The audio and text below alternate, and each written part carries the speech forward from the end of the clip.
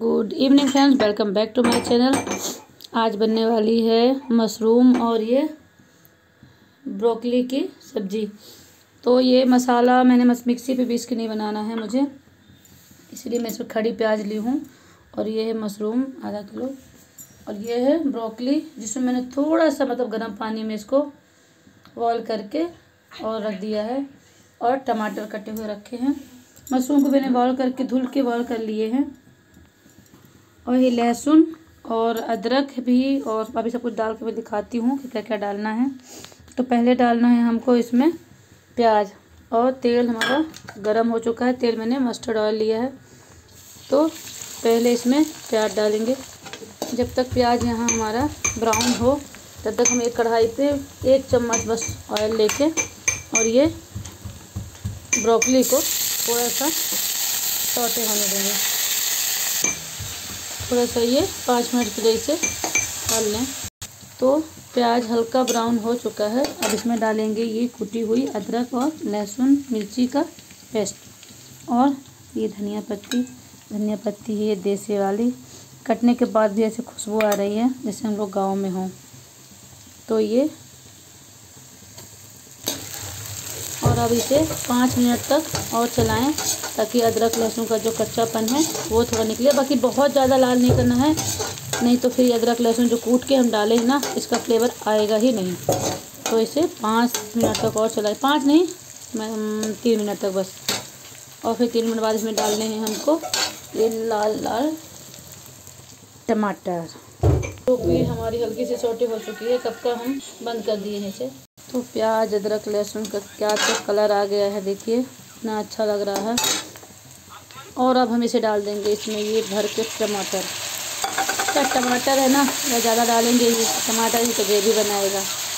इसलिए थोड़ा सा टमाटर मैंने ज़्यादा लिया है। और टमाटर मैं बड़े बड़े इसलिए काटी हूँ कि नमक डालने वाला अगर ढक दो तो ये अपने आप गल जाएगा। फिर क्यों टाइम फालतू वेस्ट करो यार छोटे टमाटर काट के।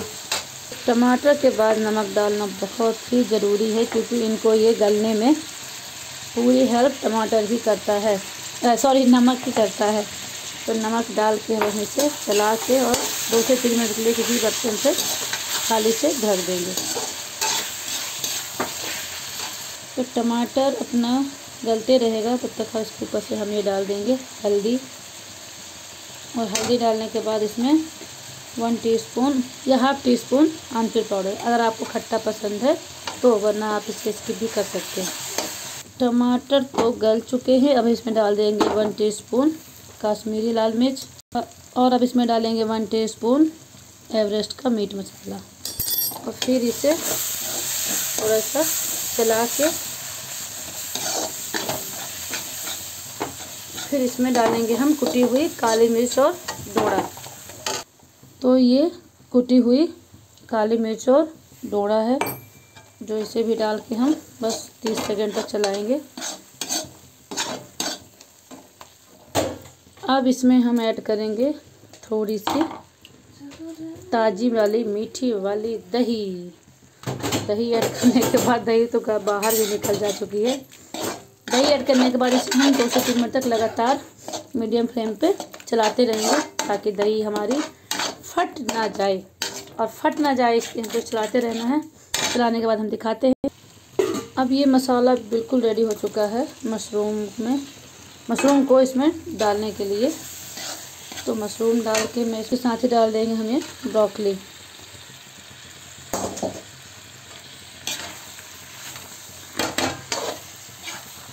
मुझे इंतज़ार है कब पीली गोभी, लाल गोभी और काली गोभी आए। वाइट गोभी, हरी गोभी तो आ चुकी जैसे शिमला मिर्च का कलर होता है ना येलो कैप्सिकम और रेड और ग्रीन वैसे ही इंतज़ार है इसका भी रेड गोभी शायद कभी कोई बना दे किसी ने बनाया जाए। तो ये इसके मसाले में डाल के हमको इसमें तीन से चार मिनट तक ऐसे ही मीडियम फ्लेम पे भून लेना है। फिर डालेंगे हम इसमें कुटा हुआ थोड़ा सा जीरा और फिर डाल देंगे पानी। गोभी और मशरूम मसाले में तल चुके हैं। हम इसमें डाल दिए थोड़ा सा भुना हुआ जीरा। भुना हुआ जीरा डाल के बस इसमें एक से मिनट चला के, एक मिनट नहीं, बस चला के और सीधे पानी डाल देना है। अगर आप सूखी भी बनाना चाहें तो देखिए बहुत बहुत ही सुंदर ये ब्रोकली और मशरूम की सूखी सब्ज़ी बन चुकी है। बट सूखी मुझे नहीं बनानी है। मुझे बनाना है ग्रेवी वाली तो मैं अब इसमें ऐड करूँगी। थोड़ा सा पानी, बहुत ज़्यादा पानी लपेटा टाइप से रहे थोड़ा सा। तो हल्का सा पानी ऐड करके इसे धीमी आँच में दस मिनट तक, दस से पाँच मिनट तक, पाँच सात मिनट तक पकने दीजिए। जितना आपको लगे कि पक गया है, क्योंकि मशरूम भी तली हुई है और ब्रोकली भी हल्का सा बॉयल होके मैंने फ्राई कर लिया था। तो इसे ज़्यादा, मसाले में भी मैंने पाँच मिनट तक इसे भून लिया है। तो ज़्यादा ज़रूरत नहीं है वैसे नहीं पकाने की। बस पाँच से सात मिनट तक अब इसे हल्का सा ग्रेवी देने के लिए पानी डाल के छोड़ दीजिए। तो हम इसमें ऐड करेंगे थोड़ा सा पानी। पानी मैंने गुनगुना लिया है। ठंडा पानी। सब्ज़ी में ना ही डालें तो अच्छा है। बस मुझे हल्का सा ग्रेवी चाहिए।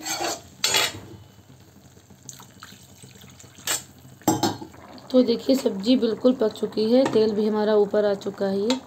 सब्ज़ी एकदम मस्त पकी है। है कब लग रहा है रोटी बनी और कब मैं ये खाना खा लूँ? तब हम इसमें डालेंगे श्रद्धा और भक्ति के अनुसार ये धनिया। जितनी आपको श्रद्धा हो उतनी डाल सकते हैं और श्रद्धा ना हो तो ना भी डाल सकते हैं। पर मैक्सिमम मुझे लगता है नाइन्टी नाइन लोगों को धनिया पत्ती पसंद होती है। जिसको नहीं पसंद होती है मुझे उनसे ज़रूर मिलना है। वो तो कौन है? जो धनिया पत्ती पसंद नहीं है। तो ये सब्ज़ी बन के रेडी हो चुकी है। और रेडी होके सर्व करने के लिए भी रेडी हो चुकी है। ये मेरी मशरूम और ब्रोकली की सब्ज़ी रेडी है। तो प्लीज़ आपको अगर अच्छी लगी हो तो लाइक कमेंट एंड सब्सक्राइब ज़रूर करिएगा। नए हों तो सब्सक्राइब करने के साथ बेल आइकॉन ज़रूर दबा दीजिएगा। तो मिलते हैं नेक्स्ट वीडियो पे। तब तक के लिए बाय बाय और कमेंट ज़रूर करिएगा कि सब्ज़ी अच्छी लगी या नहीं लगी और किसने मेरी रेसिपी को ट्राई किया। तो प्लीज़ यार कमेंट भी कर दिया करो और शेयर भी कर लिया करो। इस पर तो कुछ आपका टैक्स लगता नहीं है। तो बटन है, दबा दिया करो।